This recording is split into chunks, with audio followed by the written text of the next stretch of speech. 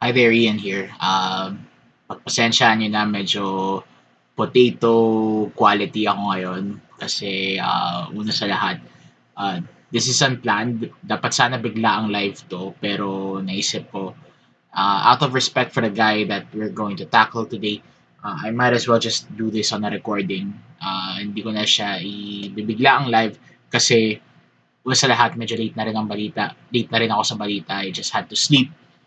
Pangalawa, uh, kakatapos ko lang uh, i-edit at i-upload yung uh, YouTube uh, video ko tungkol sa Starship uh, SN10.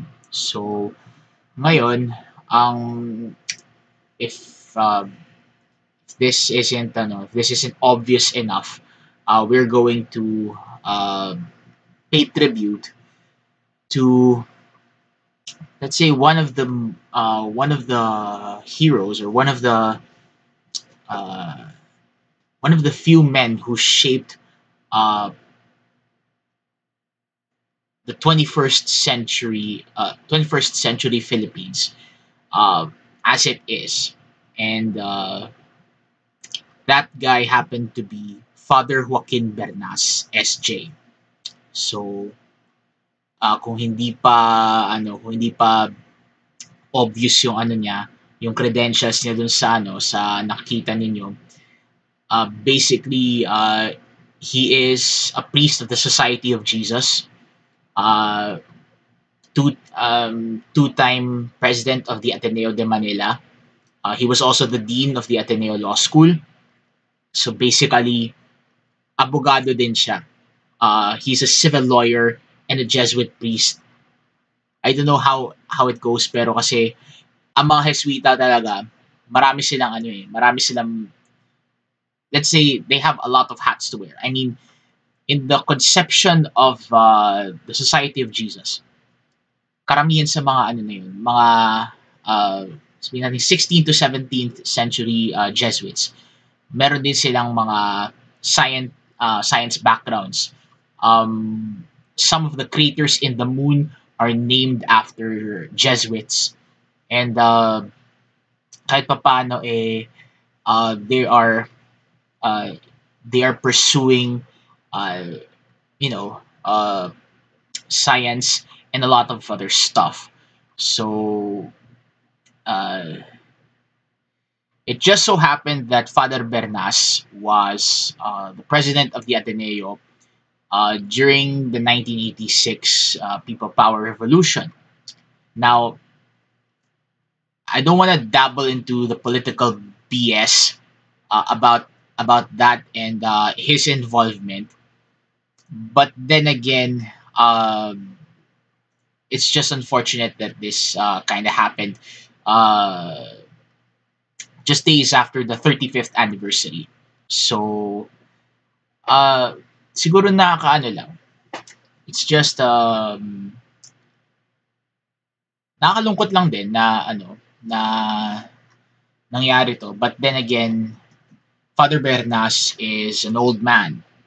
He's an old uh, Jesuit and most likely eh, I think he's just he's one of the one of the few uh, people who have framed the 1987 Constitution to still be alive until today. So, wala lang. Uh, talagang nakakaano lang, nakakalungkot lang na ito nangyari and uh, it's really something that uh,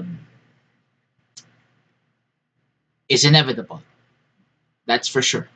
That's inevitable. Death is, is inevitable. And uh, say what you want about Father Bernas, uh, although I might have, although I have some uh, reservations as well uh, on some of the some of the things that he had uh, he have said uh, back when he was still alive, specifically be, specifically on the reproductive health saga.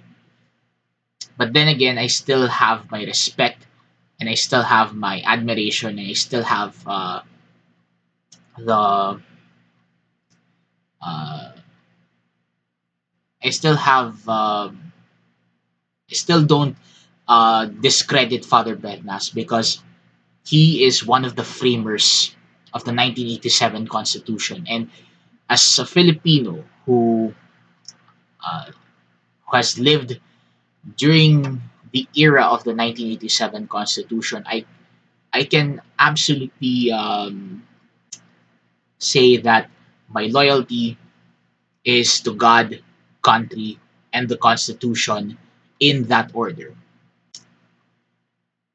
And uh, nakakaano lang, nakakalungkot lang na he died during this time na medyo pandemic situation pa.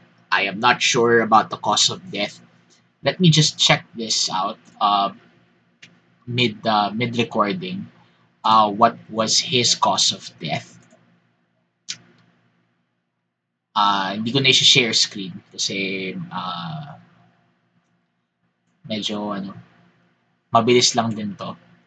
So a lot of um, news articles and uh, there's a lot of news articles anyway, so I might as well just um, read a bit. Although I've researched this kasi pero syempre I wanted to uh, make sure din. So he died uh, aged 88 years old and uh,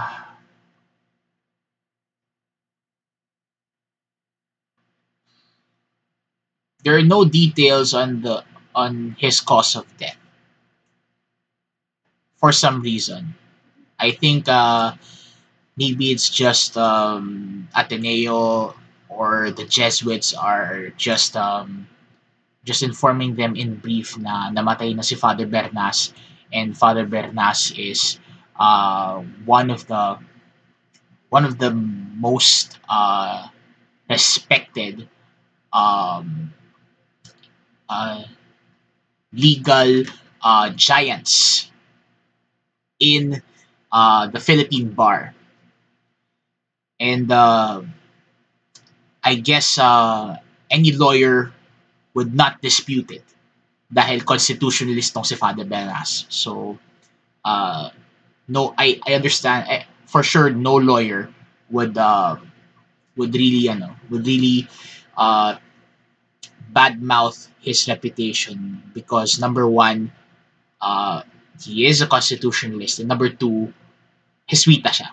So, parang naging ad- additional points na lang yung ano, yung pagiging Jesuita at ang pagiging pari niya. Although, it would be nice as well that uh, he have um, served God in his ministry as a Jesuit priest. But then again, in his contribution to uh, to the laws of the land, I th- I really think, and I uh, I'm led to believe that uh, he has served the church in what he is uh, doing in the matters of the state. But then again, uh, it's up to history to decide uh, about his ano, about his achievements. And uh, siguro ang ano ko na lang, parting shot ko na lang, or parting words ko na lang dito, eh, uh, napaka ano lang talaga. Napaka uh, sabihin natin ano, napakalungkot na araw to sa legal community. I am not sure if uh, Attorney Libayan would uh, would uh, dish out uh, his ano his obituary uh, on this day mamayang gabi. Pero I would absolutely ano I would absolutely check that out. So I guess you, um, mag-subscribe na lang din kayo sa batas natin yung channel ni Attorney Libayan. So um, maybe you can ano maybe you can check that out later and I really hope na ano na mag ano siya, mag live reaction siya uh, mamayang gabi or sometime this day. Kasi sa ngayon, let me just check it out. Quick check out din. Um, teka, wait. Batas natin.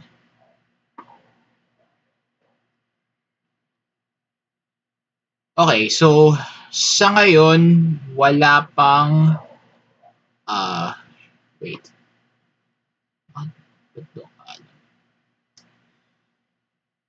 sa ngayon, wala pa yatang upload si Attorney Libayan.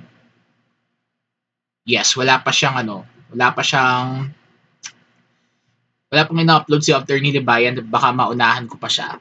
But I would ano, I would just keep this short so that uh, you can um, you can switch to Attorney Libayan's uh, video uh, sometime today or tonight. So uh, yun lang naman ang ano ko masasabi ko. So this is just a short recording and I would just like to uh, let you know that Father Bernas, the Filipino Jesuit constitutionalist, is dead. And may he rest in peace. So, with all that said, this is Ian reminding you to at all times be the salt of the earth and the light of the world. Until then, look alive, stay alive. I might try to do another format or do a, another video with this kind of format uh, after this recording, pero bahala na. But then again, as always, see you next time. Ian out.